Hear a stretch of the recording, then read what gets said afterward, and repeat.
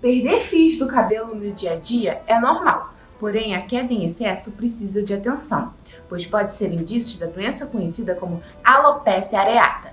A enfermidade é tema debatido diariamente por dermatologistas e seus pacientes. Famosos como Jada Smith e o ex-BBB Lucas Penteado possuem a doença. No Instante de Saúde desta edição, você vai entender melhor a doença, seus tratamentos, sua causa e seu diagnóstico.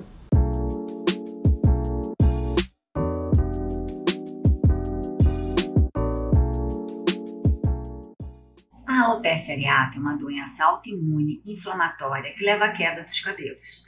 Fatores genéticos, infecções, traumas físicos e emocionais podem estar envolvidos na causa da doença. Existem as causas também hormonais, existem padrões de queda do eflúvio telógeno, por exemplo, que estão associados a baixas de produção de hormônios tiroidianos, né? Então, assim, a tireoide precisa estar ajustada. Algumas é, relações também com a menopausa. Menopausa também pode gerar um aumento da queda de cabelo.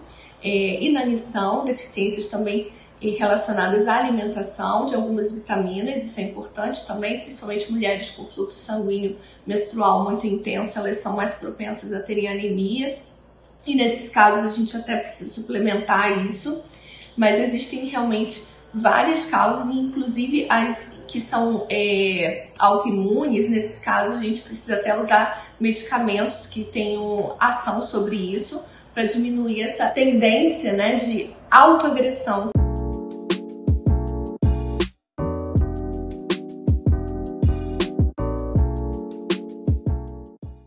Ela se manifesta com a queda repentina dos cabelos, gerando falhas, geralmente arredondadas e de tamanhos variados, no couro cabeludo. Outras áreas podem ser atingidas, como os cílios, sobrancelhas e barba. E ainda o quadro de perda total dos cabelos do corpo. Ela é assintomática, as pessoas só percebem a queda dos pelos. E ela não é contagiosa, podendo atingir homens, mulheres e crianças.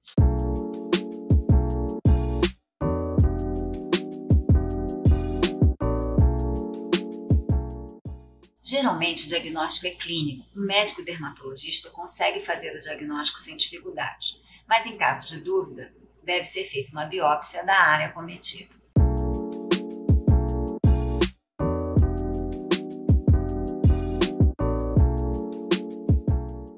Diversos tratamentos podem ser feitos de acordo com a gravidade do caso.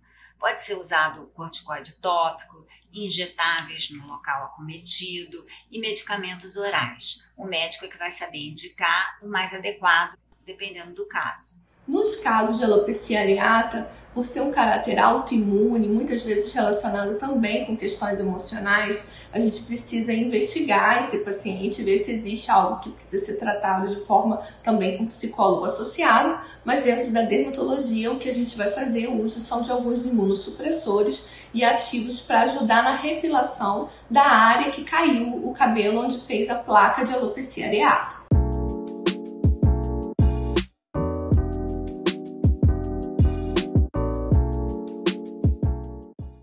É importante dizer que, quando tratado, os cabelos podem voltar a crescer na maioria dos casos. Isso acontece porque a doença não destrói o folículo piloso, eles estão inativados por conta da inflamação.